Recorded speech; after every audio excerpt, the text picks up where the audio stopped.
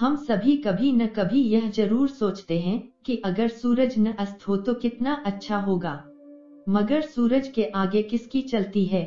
वह अपनी मर्ज़ी से निकलता है और अपनी मर्ज़ी से अस्त भी होता है।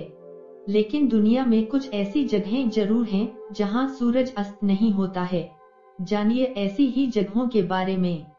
दोस्तों, जानकारी अच्छी लगे तो वीडियो को लाइक करें और ऐसी जानकारी और पाने के लिए चैनल को सब्सक्राइब कर लीजिए।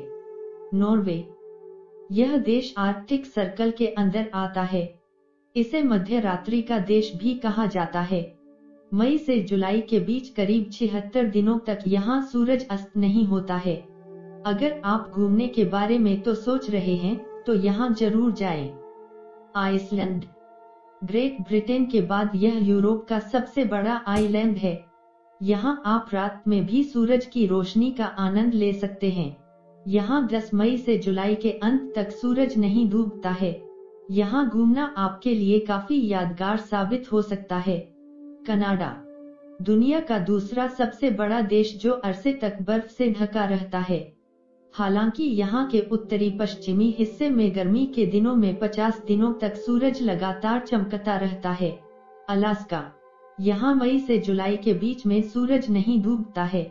अलास्का अपने खूबसूरत ग्लेशियर के लिए जाना जाता है।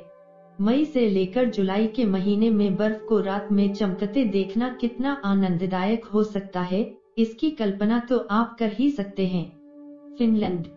हज़ारों झीलों और आइलैंड्स से सजा हुआ यह देश काफ़ी सुंदर और आकर्षक है।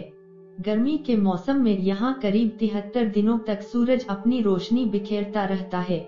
घूमने के लिहाज से यह देश काफ़ी अच्छा है। दोस्तों, जानकारी अच्छी लगे तो वीडियो को लाइक करें और ऐसी जानकारी और पाने के लिए चैनल को सब्सक्राइब कर लीजिए।